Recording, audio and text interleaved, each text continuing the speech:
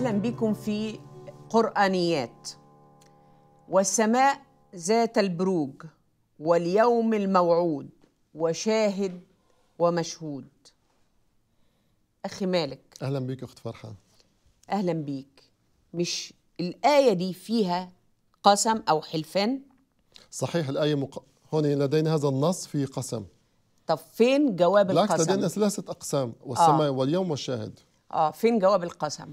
جواب القسم آه، في الحقيقة غير معروف. إزاي؟ لما كنا عم نحضر الحلقة نحن راجعنا التفاسير اللي حاولت تقدم إجابة عن جواب القسم فاكتشفنا ان عندنا خمس إجابات محتملة. أيوه الإجابة الأولى إن جواب القسم محذوف. الإجابة الثانية أن جواب قسم كلمة قتل في الآية رقم أربعة. جواب القسم قتل. في نعم. آية رقم؟ أربعة. أربعة. الجواب رقم ثلاثة أن جواب قسم الآية رقم؟ 12 12 أن بطش ربك لشديد مم. أو جواب الرابع أن تقديره أنه محذوف تقديره لتبعثن أو نحوه. أنه لا له تقدير ما محذوف ولكن له تقدير ما. مم. الجواب الخامس والأخير أن جواب القسم هو أن الذين فتنوا في الآية رقم 10 إذا لدينا خمس احتمالات نحن لا نعرف هذه الآية عندما هذا النص عندما أقسم ما هو جواب القسم؟ طب إزاي يكون القرآن فيه بيان ووصل الشارحين والمفسرين لهذا التخبط؟ صحيح. الغريب في الموضوع أني كاتب من غراب آية تنزيل قدم هالاحتمالات ناقش الاحتمالات ولكن ما هو قادر كان يحسم أمره.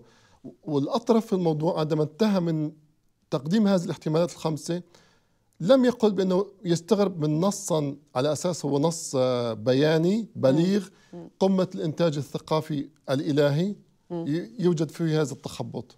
طيب ده لو عندنا آه، أعزائي المشاهدين لو عندنا طالب آه، بيمتحن في في الثانوية العامة وقدم نص زي ده هياخد صفر في النص ده لأن مفيش جواب القسم. هيسيبها بقى للمصححين يفكروا في الصفحة الأولى ولا التانية ولا التالتة ولا الرابعة ولا في الامتحان الجاي إن شاء الله.